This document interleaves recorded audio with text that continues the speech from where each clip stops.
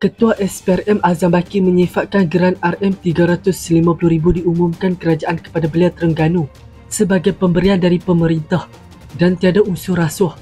Sumbangan diumumkan Timbalan Perdana Menteri Zahid Hamidi membabitkan RM100,000 kepada Persatuan Belia Gabungan Lembaga Kemajuan Terengganu Tengah dan RM250,000 Majlis Belia Malaysia Terengganu yang dipersoalkan pelbagai pihak kerana menjelang PRN di enam negeri.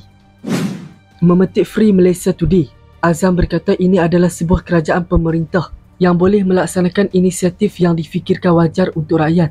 Pada hemat saya, tiada masalah berhubung isu pemberian geran ini kerana ia merupakan inisiatif kerajaan. Jadi kalau inisiatif peruntukan yang telah diluluskan kerajaan, ia tiada unsur rasuah katanya dipetik.